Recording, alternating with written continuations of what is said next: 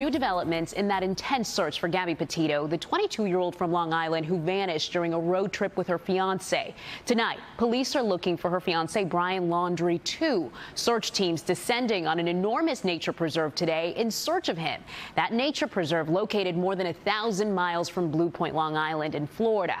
And at the same time, the FBI has confirmed that it resumed searching at Grand Teton National Park in Wyoming. That's where witnesses say they last spotted the two of them together before Gabby vanished. But Gabby's family says Laundrie is not missing. They say he's hiding. News 4's Anjali Hemphill following all the developments in the newsroom, and there are a lot of them. Anjali? Yeah, Gilma. Brian Laundrie's family told investigators last night that they last saw him on Tuesday when he told them he was going for a hike in an area he has been before, a 25,000 acre reserve about 13 miles away from North Port.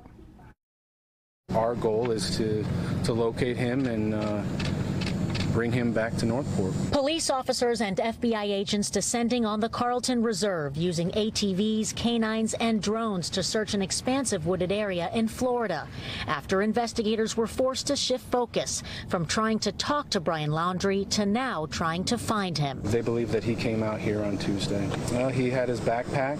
Um, he said that this is where he was coming. For the first time since Brian's fiancee Gabby Petito went missing, members of the Laundrie family spoke with investigators at their Florida home Friday evening. Where is Gabby? Where is Gabby? While protesters held a vigil outside to try and pressure Brian to come forward. Uh, their attorney called and said uh, uh, the family is concerned about Brian's whereabouts. Um, they would like to file a missing persons report. Since Gabby's family reported her missing, Brian has refused to talk to investigators. The two were on a road trip out west when Brian suddenly came home to Florida in the van without her. In a statement late Friday, Petito's family not sympathetic regarding Brian's disappearance, saying Brian is not missing, he is hiding. Gabby is missing. All this as the search for Gabby continues in the vast rugged terrain of Grand Teton Teton National Park in Wyoming as concern for both of their safety is growing. We don't have a crime. You know, we're looking for somebody. You know, I mean, that's, that's, that's it. I mean, we can't uh, go just pulling people in. He certainly has the Fifth Amendment not to speak. Any okay. chance that the family thinks he's suicidal? Um, I don't know that I'm comfortable saying that. I think we can, you know, anything's anything's possible.